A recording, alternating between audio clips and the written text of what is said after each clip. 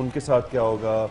या अगर उनको कुछ हो जाए तो उनके खानदान वालों के साथ क्या होगा? आ, वो रोज अपनी लाइफ ऑन द लाइन रखते हैं फॉर आवर सेफ्टी सो ऐसा एक रोल करना जो एक रियल हीरो होता है उसको पोर्ट्रे करना एक बहुत बड़ा ऑनर है बहुत बड़ा प्रिविलेज है।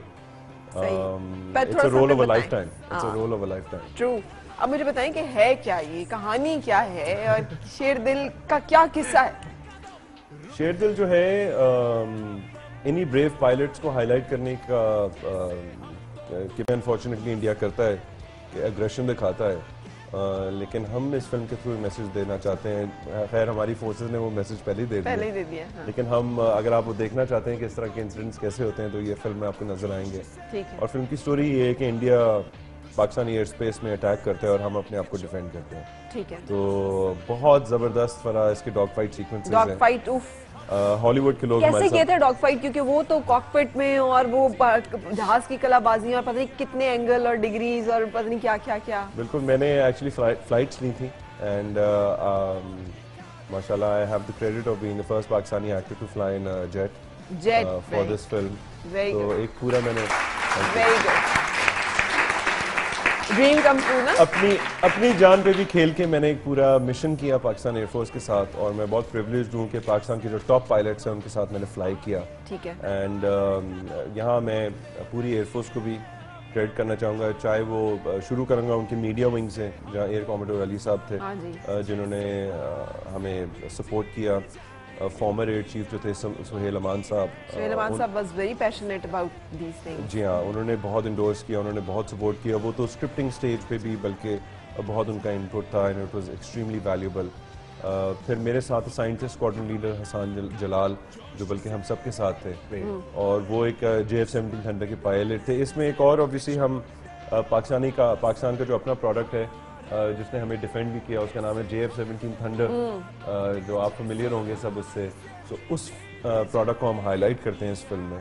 और हसान जलाल जो है वो उसी के टे, टेस्ट पायलट भी रह चुके हैं। हाँ। तो उनसे बहुत सीखने को मिला।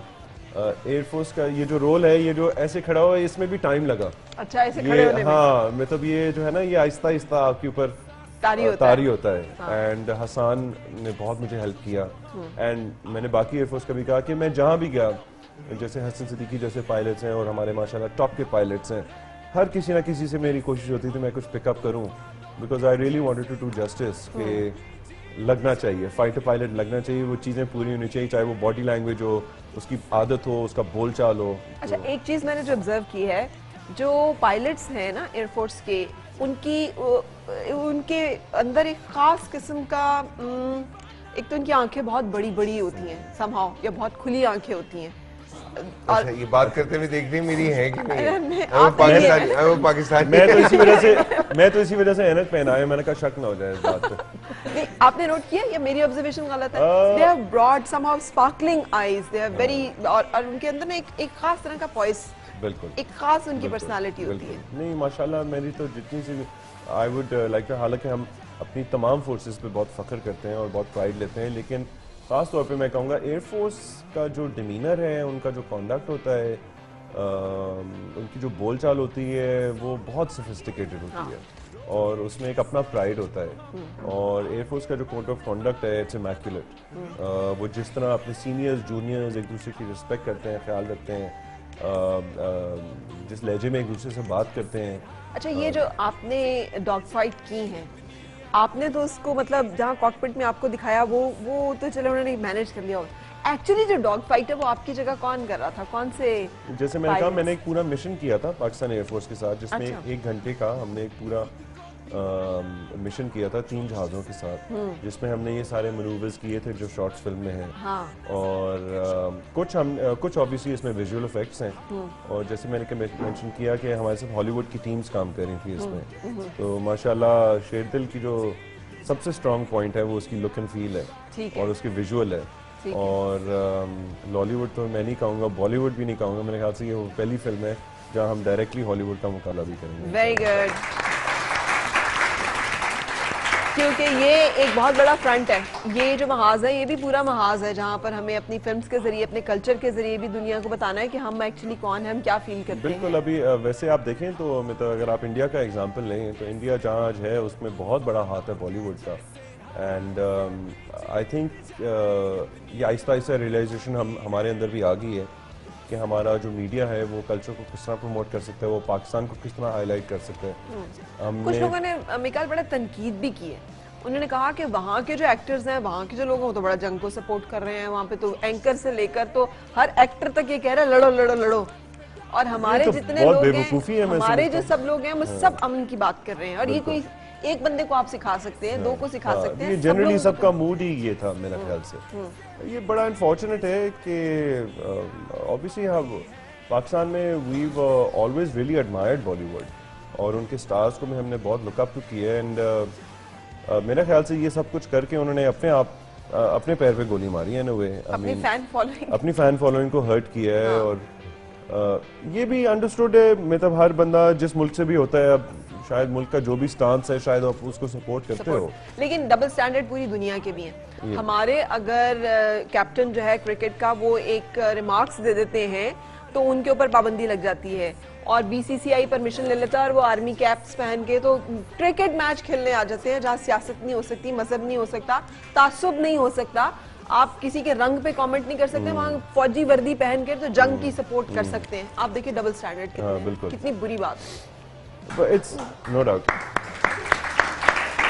I mean नहीं ये ये ये बड़ा अनफॉर्चुनेट है मतलब अ, खास तौर पे एक्टर या एक मीडिया पर्सनालिटी जिसका काम है आपको हंसाना और आपको एंटरटेन रखना वो इस तरह की बात करे तो ब- बड़ा दुख होता दुख है। होता एंड मेरे ख्याल से काफ़ी लोगों ने शायद थोड़ा थोड़ा बहुत रियलाइज़ भी किया।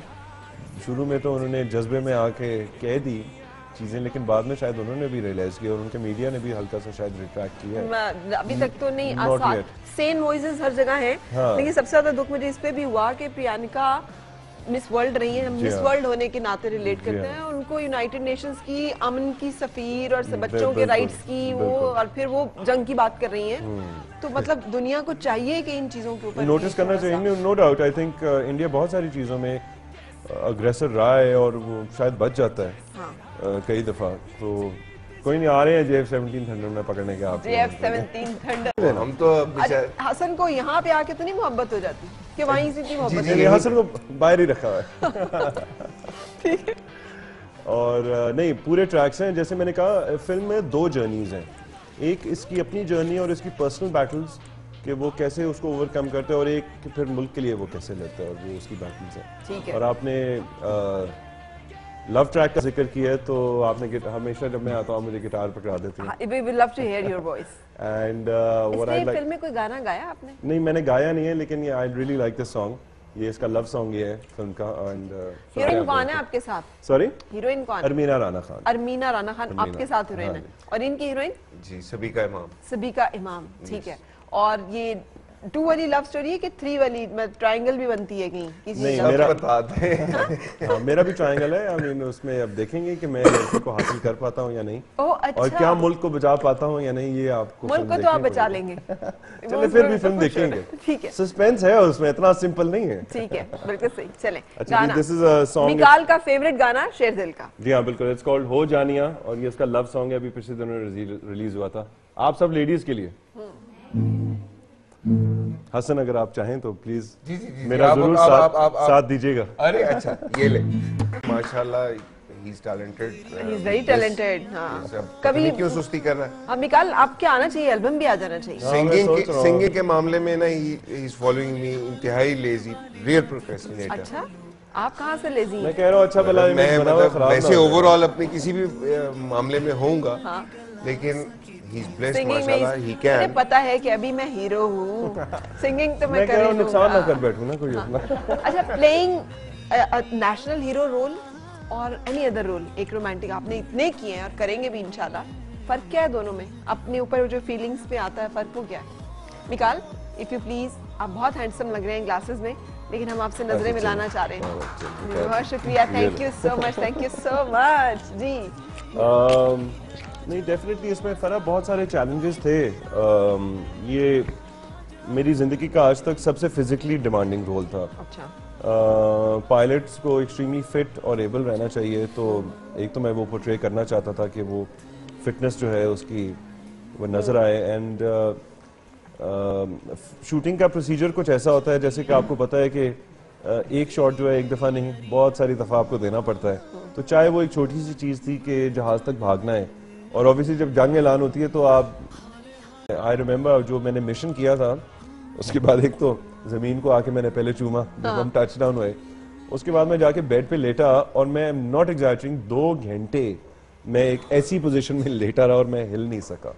इतना ज़्यादा प्रेशर होता है बॉडी के तो ऊपर इमेजिन ये तो चले एक एक्टर एग्जैक्टली जो आप अपने तो ये रोज ये काम करते हैं जो लोग रोज ये काम करते हैं वो उनका ये है कि थोड़ी सी उनकी बॉडी यूज़ टू हो जाती है लेकिन फिर भी ये एक्सट्रीम फोर्सेस होते हैं हम्म। जो आपकी बॉडी तो उस हवाले से ये बहुत डिफरेंट था हम्म। फरा इसमें मतलब बहुत सारे एक तो फ़िल्म होती भी लार्जर देन लाइफ है यू नो ड्रामे में हमारी ड्रामे में आप क्लोजर टू रियलिटी काम करते हो हम्म। और जैसे आमतौर पे डेली लाइफ होती है उसकी कहानी होती है वेर फ़िल्म ये डेली वाली कहानी नहीं है। हाँ। हसन सिद्दीकी जैसे और इस तरह जैसे जो इंसिडेंट्स होते हैं ये वंस ये तीस सालों में एक दफ़ा आते हैं इस ठीक है, तरह। तो ठीक। ये बहुत बड़ा एक यू नो एक एक रहा। हम्म। चैलेंजिंग रोल था much more so than anything else Hasan आप भी तो डॉग फाइट आप ही के साथ हुई होगी ना? जी जी। तो आप भी करते होंगे ये सब कुछ?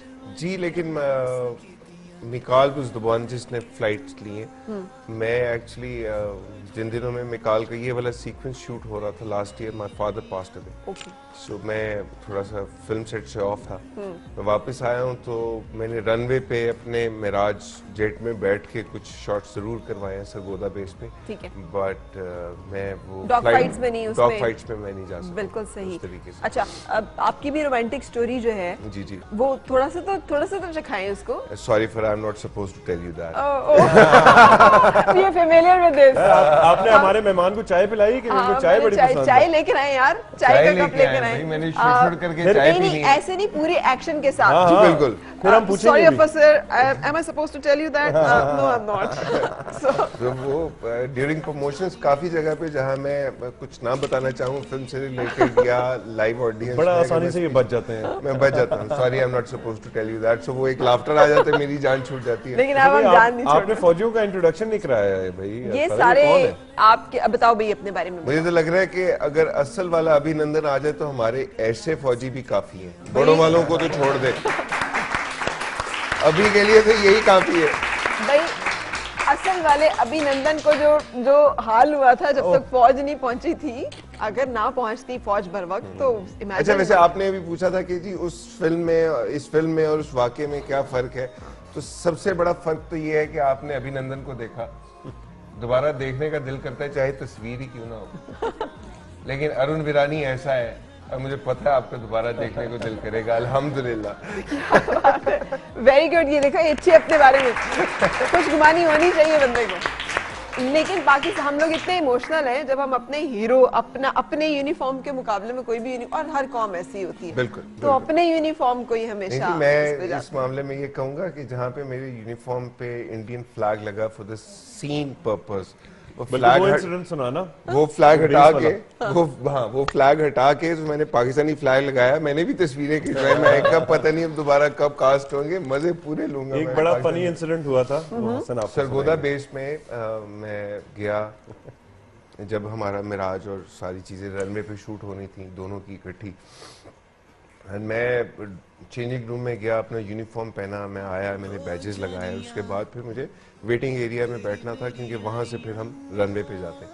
जो वो एक ऑफ़िस था वो एक्चुअली बेस कमांडर साहब का ऑफ़िस था। अच्छा। मैं यूनिफॉर्म में जा रहा हूँ और बेस कमांडर साहब जो है वो ड्यूटी ऑफ़ करके अच्छा अपने घर जा हैं। इंडियन पायलट की ना यूनिफॉर्म पहनी बैजेस लगे हुए सारे ये वो और वो हेलमेट जो उनका होता है वो भी वो भी मेरे हाथ में है। तो बेस कमांडर साहब ने बेस देखा कमांडर है इसको कि ये इंडियन पायलट कहाँ से घुसाया है? उनका सीधा हाथ ना अपने वेपन पे। अच्छा। कैसे उनको यकीन नहीं आया उन्होंने देखा क्या है कि कोई सायरन नहीं बजे कुछ नहीं हुआ और एक इंडियन पायलट हेलमेट पकड़ता मेरे ऑफ़िस में मेरे। ऑफ़िस की तरफ़ आ ये सर सर सर सर ये शूटिंग चल रही है बेस कमांडर साहब। ये वो इमेजिन कि अगर वो नी सीधा ही निकाल के हाँ, ठा कर वो बाद में तो पूछता कि हाँ जी ये कौन था? कौन था? अच्छा ये ये शूटिंग करते हुए मेरे साथ भी इंसिडेंट हुआ। मैं एक दफ़ा लंदन में फ़िल्म कर रहा था। और अ, उसमें मेरा रोल एक टेररिस्ट का था। अनफॉर्चुनेटली तब इतना पता नहीं होता था। इतने हसीन टेररिस्ट होते हैं नहीं तब इतना पता नहीं होता था वैसे वो इस तरह के रोल्स मेरे नहीं ख्याल पाकिस्तानी एक्टर्स टेररिज्म ही है ना इतना हसीन। है ये करके- यार ये हसन की बातों पे वाह वाह वाह क्या बात है। लेकिन मैं वो आपको सीन एक्सप्लेन वो सीन में ना मैंने बैग बांधा हुआ था और बैग में से तारे निकली नहीं है और मैं लंदन के स्ट्रीट्स पे चल रहा हूँ शूटिंग कर रहा हूँ। ठीक है। तो जैसी अब हम तो कैमरे अच्छा वो सीन ऐसा था कि मैं सड़क पे जा रहा हूँ तो कैमरे ना दूर दूर पड़े हुए। कोई लग नहीं रहा कि ये शूटिंग हो रही है क्योंकि मैं ना अब मैं चली भी जा रहा हूँ दूर से पुलिस गाड़ियाँ आ रही हैं जा रही हैं। अब मैं अभी देख रहा हूँ अभी कोई निकला और उसने मुझे फायर मारना है। हाँ वो वो लोग तो है भी बड़े तो सेंसिटिव इन चीज़ों पे रिएक्ट तो ये कभी कभार यू नो एक्टर्स हम समझते हैं बड़ा ग्लैमरस समझते हैं लेकिन हम बहुत डेरिंग डेरिंग काम शॉट के लिए कर जाते हैं जो मैं आपको अपना जेट का बता रहा हूँ फरा हम समझते हैं ये पायलट सिर्फ़ अपनी जान जो है